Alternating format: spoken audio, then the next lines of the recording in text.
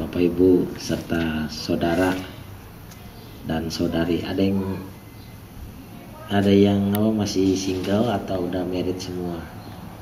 Single. single. Ini? Oh suami. Jadi saya hanya bisa menyebut saudara satu. Setelah itu bapak ibu. Karena saudarinya tidak ada. Gitu. Ya pada kesempatan pagi hari ini kita bersama-sama berkumpul di wihara yang kita cintai. Saya juga nggak tahu nama wiharanya nama apa. Wiharanya namanya wihara apa namanya? Dhamma Cakatra. Oh iya. Wihara Dhamma Cakatra. Yang di mana pada kesempatan pagi hari ini merayakan perayaan hari raya Imlek atau yang biasa di Indonesia terkenal dengan tahun baru Chinese.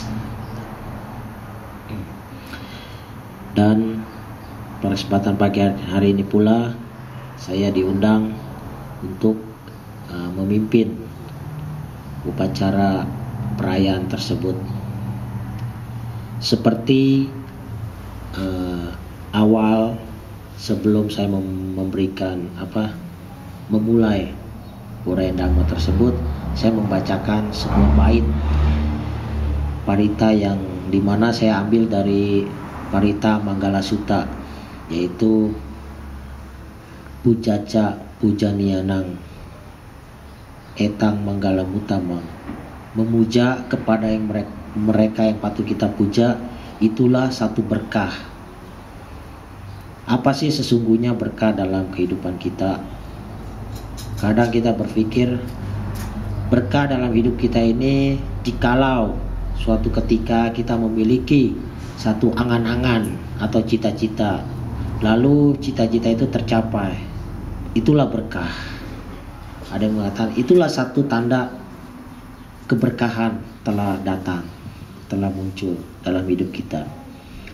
Tetapi sesungguhnya dalam agama Buddha berkah yang kita maksudkan adalah sesuatu yang kita lakukan lalu tidak menimbulkan atau memberikan efek yang tidak baik itulah satu berkah. Bukan hanya harapan cita-cita kita tercapai bukan itu. Tapi yang lebih lebih dalam yaitu melakukan sesuatu dan tidak merugikan atau membuat orang lain menderita itulah berkah. Nah oleh sebab itu maka berkah tersebut harus kita bisa bina harus kita pupuk dalam kehidupan kita. Agar supaya kenapa? Agar supaya kita senantiasa bisa hidup bahagia.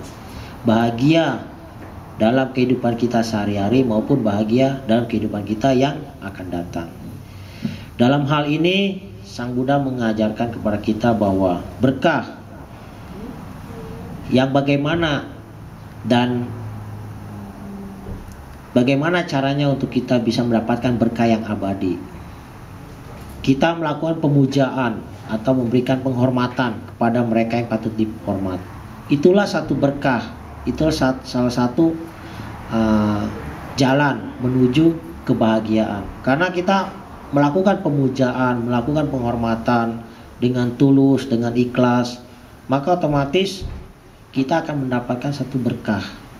Kita misalnya aja di rumah kita memiliki orang tua, terus kita memberikan penghormatan pada orang tua kita, terus orang tua kita memberikan doa, memberikan uh, berkah.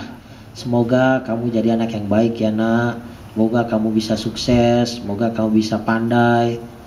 Kalau waktu kita kecil ingat gak kalau kita mau pergi sekolah kita pamitan, ma, pa, saya pergi sekolah ya. Oh ya, nak, semoga kamu jadi anak yang pandai ya, sekolah yang pinter.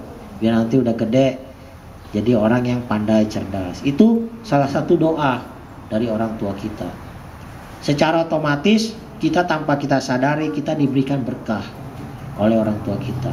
Ditambah lagi dengan hati yang tulus, maka otomatis berkahnya itu akan lebih besar, akan lebih kuat menyertai kita.